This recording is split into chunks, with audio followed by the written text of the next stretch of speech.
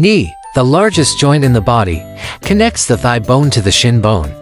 Knee joint provides flexibility and stability to the leg. The knee joint consists of four major ligaments, anterior cruciate ligament ACL, posterior cruciate ligament PCL, medial collateral ligament MCL and lateral collateral ligament LCL. The kneecap or patella, a small triangular bone, protects the knee joint. Knee problems like arthritis, ligament injuries, meniscus tears, and kneecap dislocation are common among people of all ages. Exercise, maintaining a healthy weight, and avoiding high-impact activities can help prevent knee injuries.